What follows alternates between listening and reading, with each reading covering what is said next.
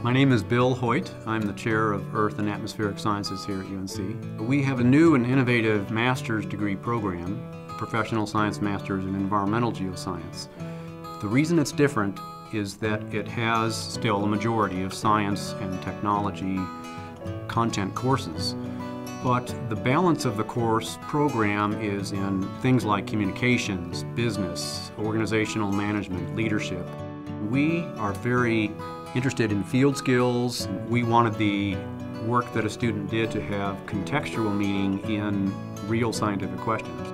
This program isn't just a regular master's program. It's not just thesis based, which is what I really like about it, but it also gives you communication skills and statistical skills in order to go into a company. And I think that's going to be a lot more beneficial than just having an MA or an MS with a thesis. We're looking for students who are interested in leadership and management positions, working between, say, resource extractive industries, regulatory. They know both sides of the business, they know both sides of the cultures that are often students can become expert at one culture but don't know anything about the other culture. But there are very few degrees that really take that to heart, and the Professional Science Masters was very attractive to us for that reason. I haven't taken a class here that I haven't liked. Um, which is a great thing. I've had, I feel like a lot of hands-on learning opportunities. We go out into the field a lot here at UNC. We, uh, we do a lot of field trips. Last semester, I think the total count was seven. Two of those were overnighters. So we spent two nights traveling around southern Colorado in Colorado geology, and we spent five nights out in Utah with um, sedimentology and stratigraphy with Dr. Evanoff. And then last summer in uh, Wyoming, we did an entire mapping project, I think 10 of us. And that was a lot of fun. Um, just 10 days of camping out in Wyoming and dealing with the elements and learning how to map and, and what geologists actually go through and do.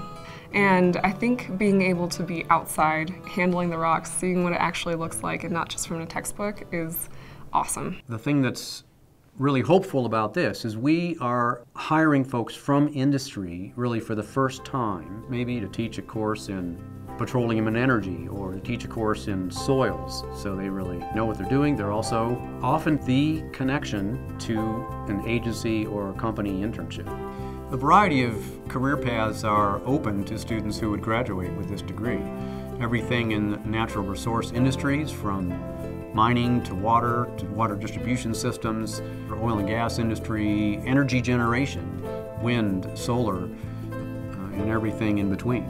I love the department here. They make you feel so welcome to be here, and it's kind of like our own little family in the third floor of Ross. UNC in general is a much smaller school, and I think the benefit of that is you get to know people a lot better. We have a lot smaller class sizes. We get a lot more attention from the professors, uh, especially in the grad programs. We only have several grad students, so I know that they get really close to their advisor. And I think the benefit of that is you get a better education. You don't, you're not a number, and uh, you're, you're a person, and you're treated with respect here.